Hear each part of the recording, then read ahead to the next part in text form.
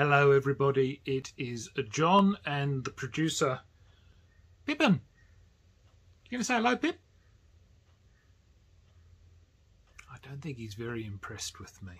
He was just starting to get comfortable. We just finished another another video before this one, and he was very excited. He jumped up on my lap and was most most happy, weren't you? And now he says, Look, Dad, he says, I only jumped up here because it was a nice, comfortable lap, and uh, I uh, want to go back to sleep. So I think we'll let him do so.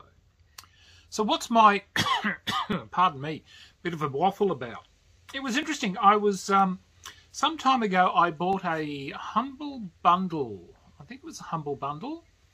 Or was it a bundle of holding? Anyway, whichever it was, there was a article on uh, it was a magazine dealing with old school um, gaming, and I think um, look, I can't remember, but what I will do is, is that I will deal with. I went back and had a look at one of these old books because it made a reference to to one of the old D and D books, one of the the precursors to all the D and D. Now, whichever edition you want to play, there is no problem with which one you want to play. So don't think that this edition is more superior than the one that you're currently running. So don't rush off and grab your pitchfork and say, John must be burnt at the stake.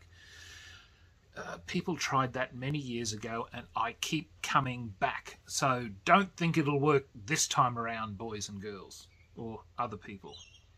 Yes, but it was interesting having a read here, and it was saying here that um, he said the uh, the supplements have fulfilled the need for fresh ideas and additional stimulation, but somewhere along the line, D&D lost some of its flavour and began to become predictable. When was this written? 23rd of April 1976. Fast forward to 2022. D&D is far more predictable than anything else, I would think. Uh, this came about as a result of the proliferation of rule sets. Have we got more rule sets than we can poke a stick at now? And it's the year 2022. More rule sets than we can poke a stick at. More character classes than we can poke a stick at. More spells than a wizard can possibly cast in a lifetime, perhaps. Is that true? Who knows? Yes, and while this was great for us as a company, this is them. This is the uh, people from Wizards of the Coast, or sorry, TSR as it was known in the time. It was tough on the game master, or shall we call them DM, as it was written back then. When all the players had all the rules in front of them, it became next to impossible to beguile them into danger or mischief. Which is part of what the game master's all there for, isn't it? If a player has everything out in front of them. If they know every monster, every uh, treasure, every magic item that they can possibly get, they're not really going to get fooled, are they? And particularly when you get those players that decide that, excuse me, but um, my Vorpal blade of such and such has this ability. You can't say that it doesn't have this aspect. Well, look, I'm the game master.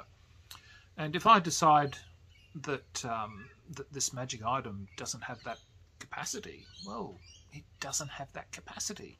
And this is the problem, is, is that we have the rules lawyers within our games now who decide that you must stick adamantly to what is written.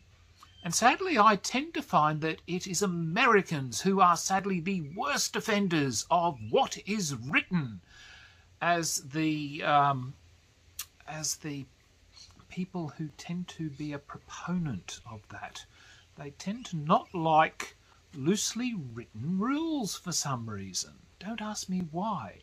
Particularly when it comes to things like tournaments and uh, and things like that. They like things very clearly written out, and you will find the greatest greatest rule lawyers amongst them, particularly when it comes to wanting to win, which is not what the concept for role playing is, particularly when you are playing role playing games. There are no winners, there are no losers, there is only you out there having fun, which is what role playing should be. And uh, it was just interesting going on having a look at what was written back here in 1976. And, um, you know, it, it came down here at the end where they were talking about um,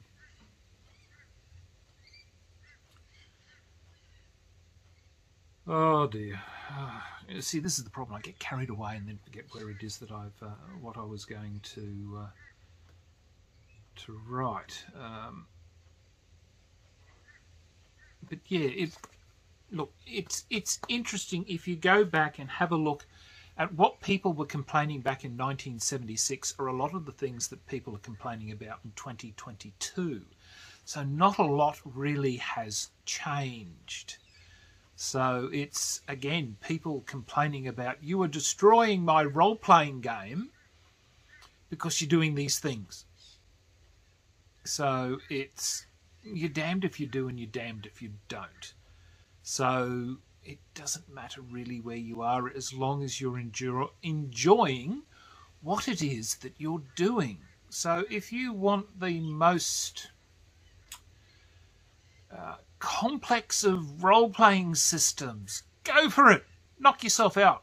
If you can find the people that are willing to support you and play with that sort of complexity, then look, honestly, there's nothing wrong with it. However, if you like, um, you know, an open style system where you're more interested in the role playing aspect of, dare I say it, role playing, then there's nothing wrong with that either. You know, there's nothing wrong with any edition of a role playing game. Admittedly, I am going backwards in time because I have found that um, Wizards of the Coast is producing very substandard material. In my, this is in my opinion, people. Please take that in into account. And my opinion, as everybody knows, is not worth anything because nobody really listens to an old white man anymore.